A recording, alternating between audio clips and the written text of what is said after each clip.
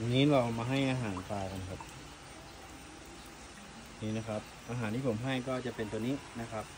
แล้วก็อาหารตัวนี้เราทำขึ้นมาเองนะครับ ตัวนี้โปรตีนสูงนะครับ ตัวนี้มีไฟเบอร์ด้วยอันนี้เดี๋ยวเรามาให้กันเลยนะ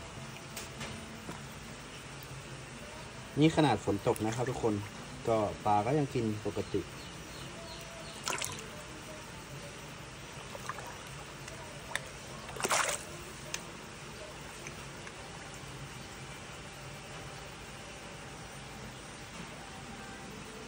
อันนี้เป็นอาหารมันจมนะครับ เราจะต้องตีผสมน้ำให้มันจม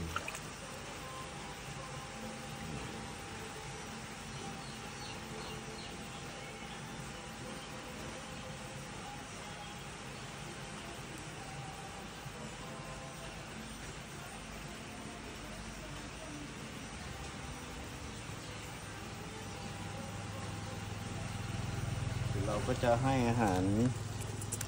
ตัวนี้ไปด้วยสองช้อนนะครับ เพื่อที่ไม่ให้ปลาแบบเบื่อหน่ายนะครับ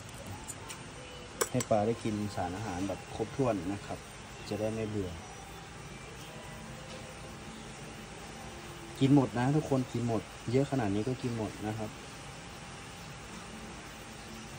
บ่อนี้ผมตั้งใจจะขุนเป็นปลา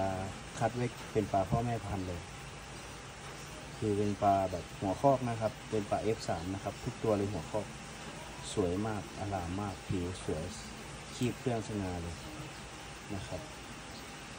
เดี๋ยววันนี้เราไปส่งปลาให้ลูกค้ากันต่อนะครับ หลังจากให้อาหารเสร็จแล้ว โอเคนะครับทุกคนเดี๋ยวผมขอตัวไปแพ็คปลาก่อนครับ ขอบคุณทุกท่านที่เปิดรับชมและติดตามครับ ขอบคุณครับ